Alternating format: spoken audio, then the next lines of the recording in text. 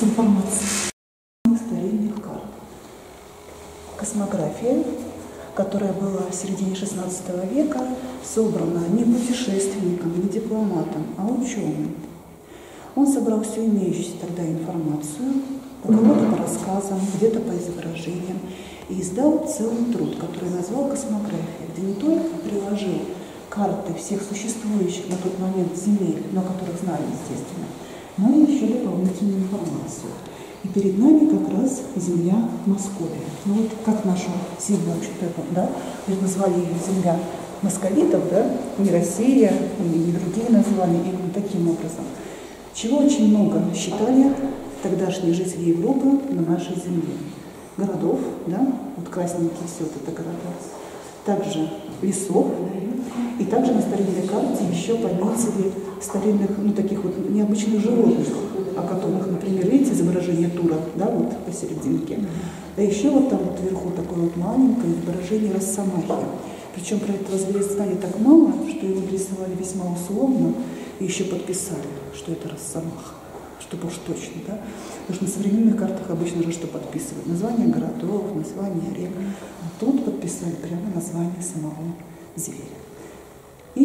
Карта, которая опять же была сделана иностранцем.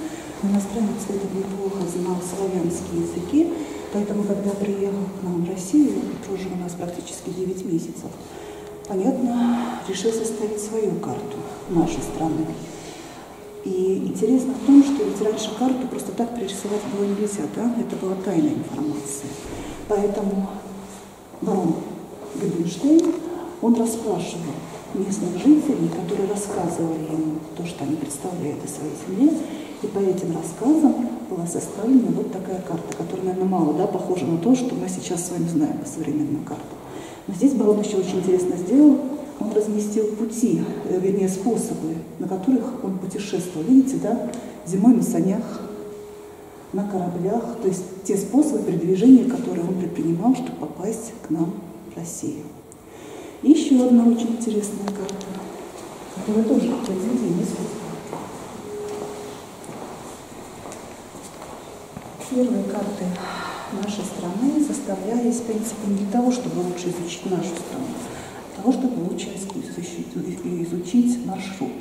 Маршрут из Европы на, на юг, да, то есть к Индии, к Персии, там, где очень много различных специй, различных тканей и так далее. Поэтому этот маршрут, видите, как видно, очень хорошо проработан. А все места, о которых путешественники тогда ничего не знали, они заполнили изображениями. Причем изображениями очень интересного толка. Где-то там живут народы, которые поклоняются золотой бабе. Где-то там живут народы, которые поклоняются красному холсту.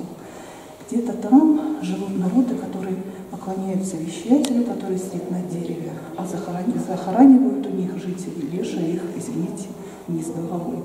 То есть такие, да, полулегенды, полурассказы. Ну и также всякие диковинные животные, можно поближе, да, пойду самочка, всякие диковинные животные, которые расположены на карте. Вот эти вот изображения, вот эти вот вставки очень долго были на картах. Сейчас мы увидим с вами, что даже на картах уже середины 17 века они продолжаем находиться.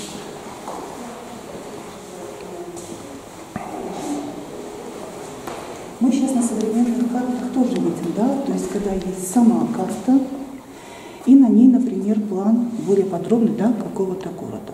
В данном случае тоже, видите, план Московии. Или, например, путешественники располагали на картах те изображения, которые, опять же, их больше всего поразили. В данном случае, как выглядит город Архангельск.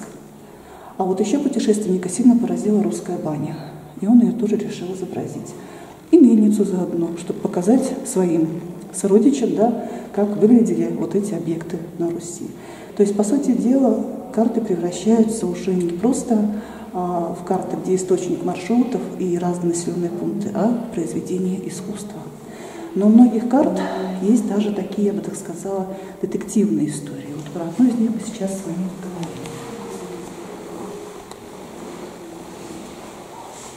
Называется она «Новое географическое описание Великой Тартарии». Это еще одно из названий нашей России и составил ее Иоганн Таберт.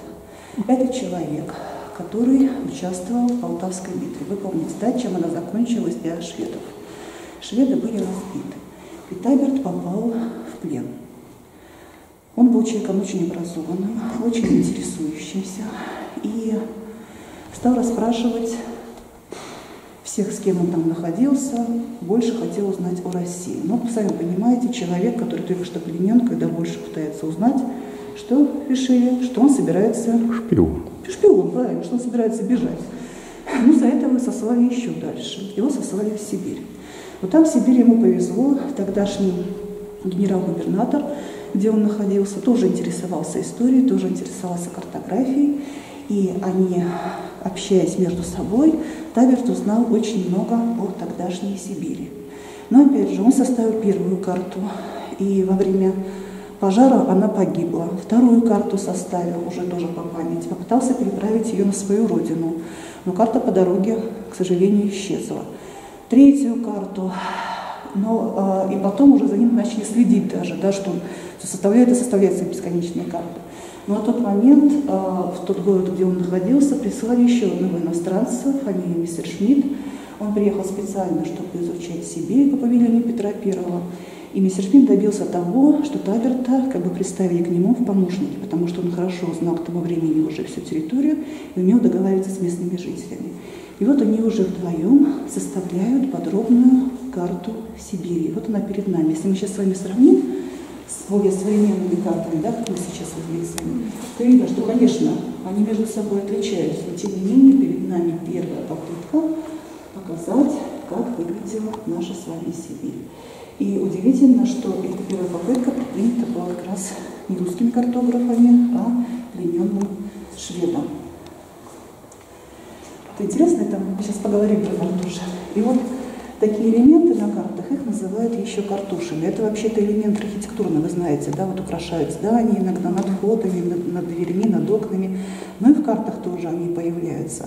Вот на этом картуше Тальмир изобразил себя, своего друга, мистер Шмидта, который поднимает занавеску, видите, как раз над картой непосредственно Сибири. Вот это вот страшное чудовище символизирует плен, в котором он был, и вот опавший после плена оков, да, то есть то, что он освободился. Таберт мистер Шмидта так увлеклись, что даже когда их уже освободили, они еще несколько лет жили в Сибири, пока их уже не попросили наконец-таки уехать. Ну что ж, пошли дальше. Это первый сейчас с вами сегодня говорили про иностранцев, да? То есть они составляли карты.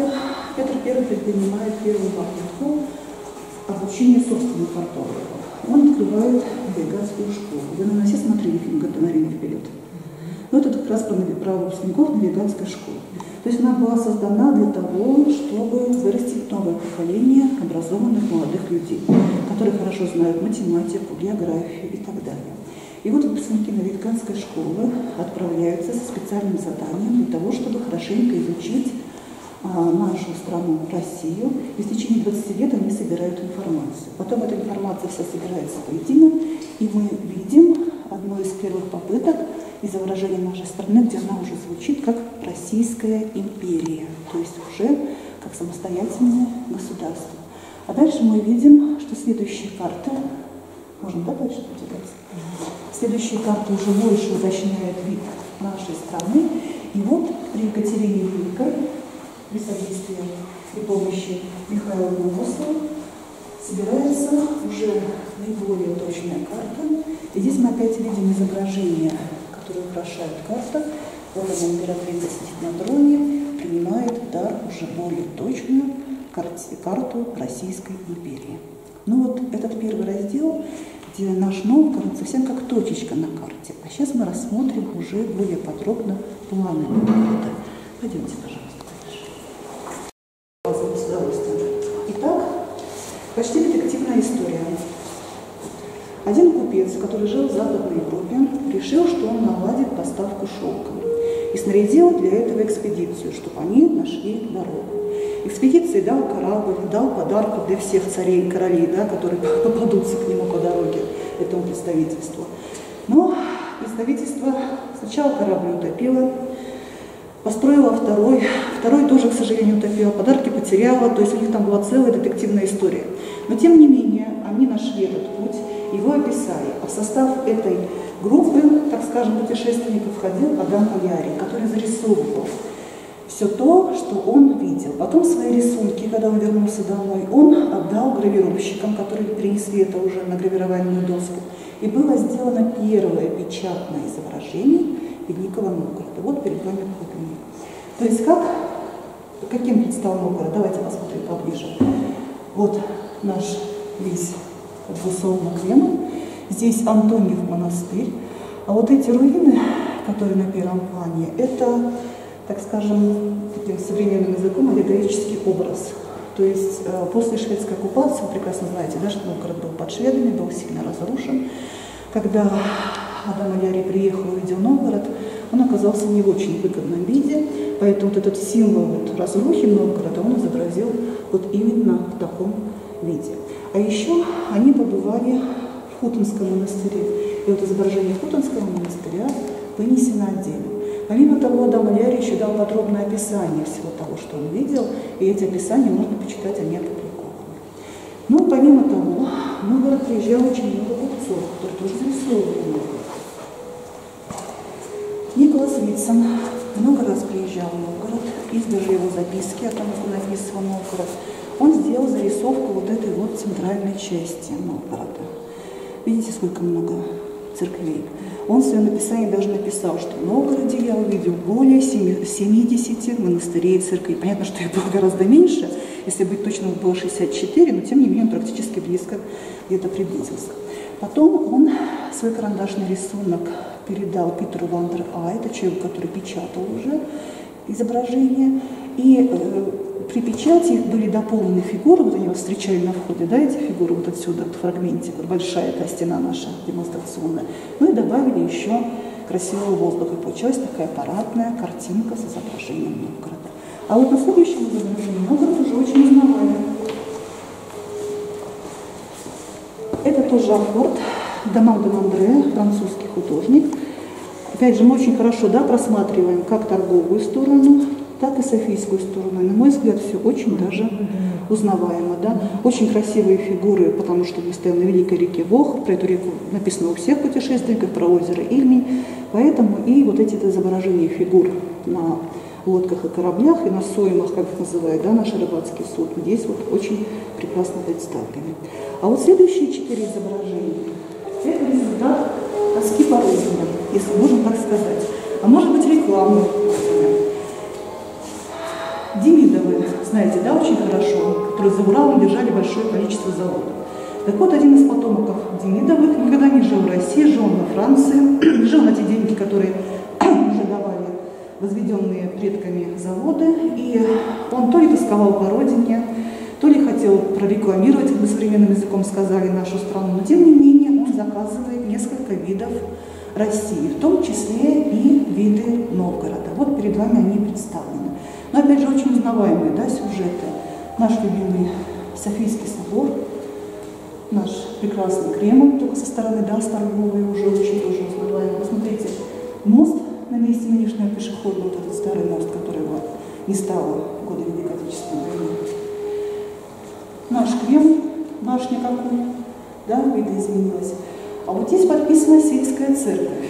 Хотя в нынешний момент она далеко не сельская церковь, это, если вы знаете, напротив театра драмы есть церковь Петра и Павла в Кожевниках. Представляете, такая красного кирпича.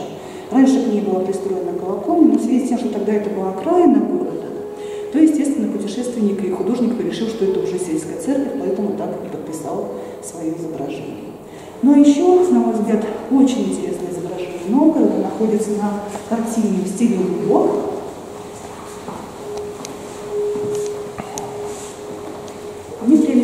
Равинский, историк, собиратель искусства, а, собрал лутковые изображения России, в том числе да, вошел лист, посвященный нашему великому Новгороду. Помните, мы с вами видели план, да, на иконе? Очень похожее изображение, да? Кремля только башни немножко слегка видоизменились. Но стилистика Лубка вообще предполагает, знаете, да, что это э, картинки для простых людей. Такие быстрые картинки, поэтому предполагает некую стилизацию. Но, на мой взгляд, очень красивое изображение Новгорода. А вокруг в розетках изображение 32 монастырей, которые находились на территории новгородского наместничества.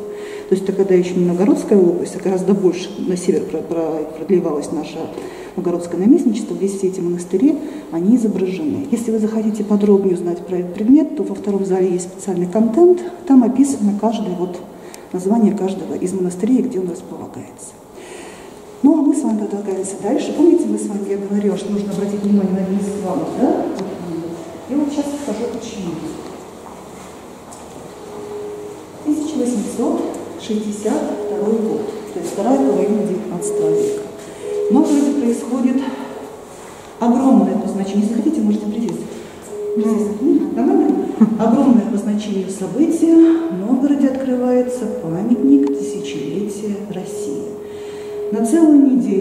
весь императорский двор, все приближенные переезжают в Новгород.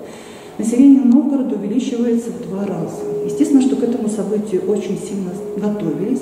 Было выпущено большое количество карт, путеводителей и других совершенно э, разных печатных изданий, в том числе Константин Бурковский, новгородец, это очень важно, человек, который держал в Новгороде типографию, издает вот тот план, который мы с вами там посмотрели цветной, а к плану прилагает виды Новгорода. Их всего должно быть 10. Ну вот в коллекции Алексея Валентиновича 9. Он говорит, что с 10 он еще гоняется за ним.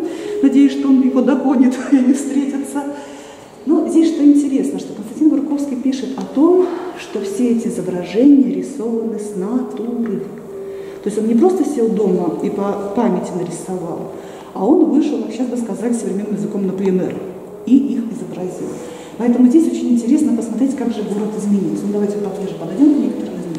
Вот, на мой взгляд, это изображение практически не изменилось. Да? Ну, вот если только часозвоне чуть-чуть свой силуэт изменило, и здесь мы еще видим, где вот сейчас лекторий современный, там церковь введения во храм, ну вот около Софийского собора. То есть сейчас там купола нет, а этот купол мы здесь, можем видеть.